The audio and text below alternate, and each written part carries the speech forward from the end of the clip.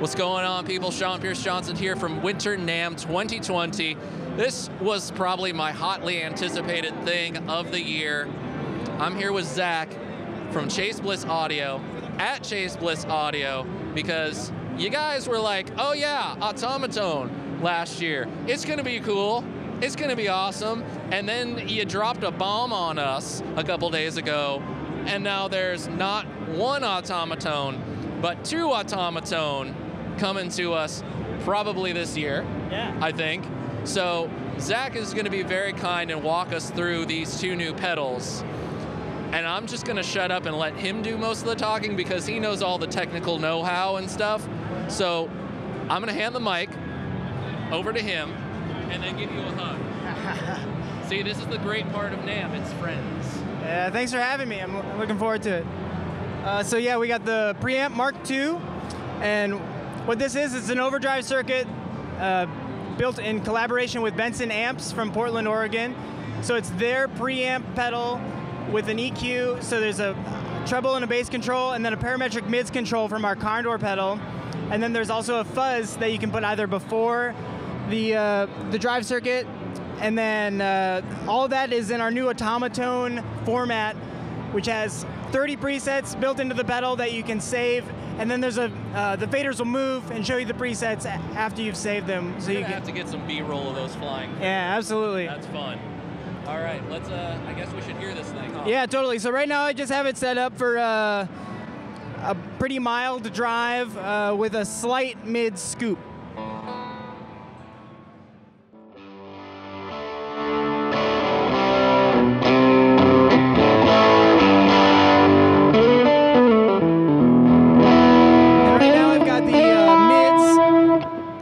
The whole circuit, and I can scoop that out even more and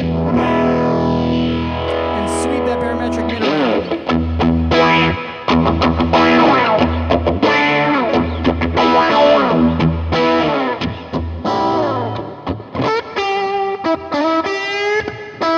And I can turn the fuzz on.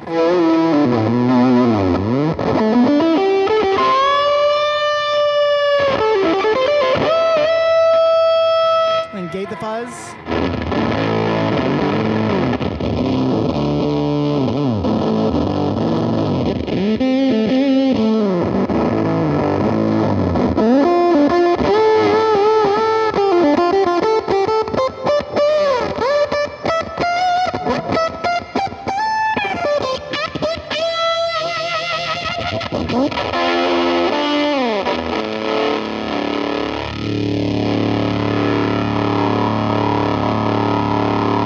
So now let's say I like that setting. I can save that. And then next time I scroll around, I can just come back to that same setting. And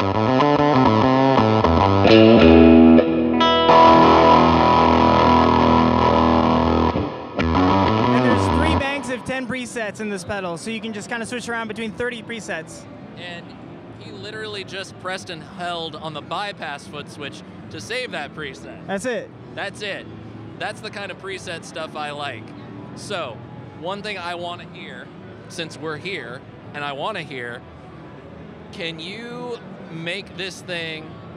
First off, let's get the amp sounding like it's just exploding. But then let's hit it with the open fuzz oh, and get kind of. Let's see if we can make this thing doom a little bit. Let's try it. Yeah, let's try it.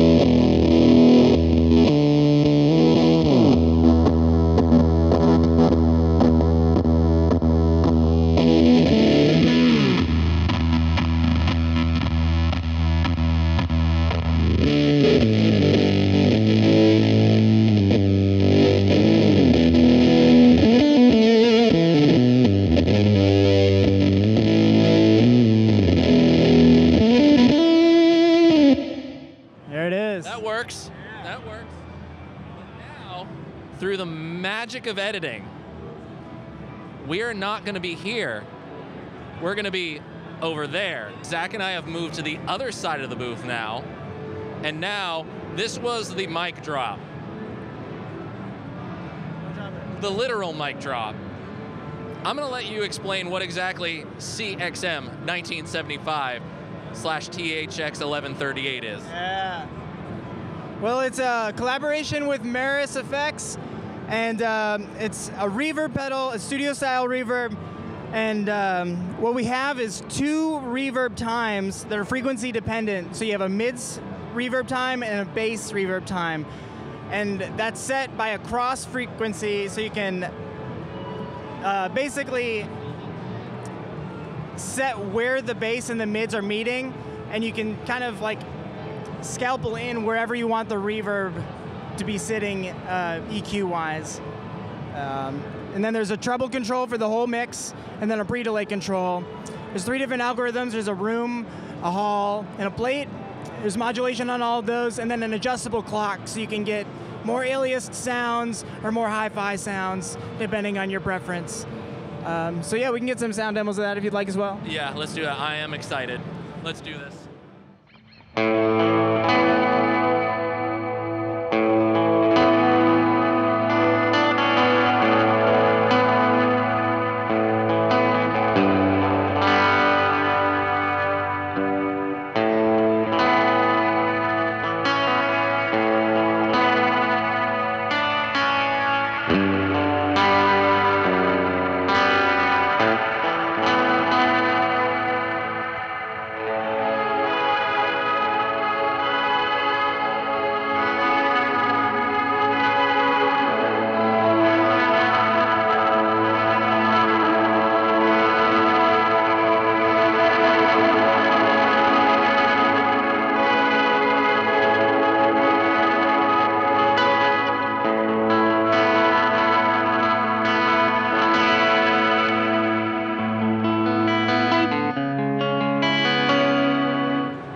Plate setting now.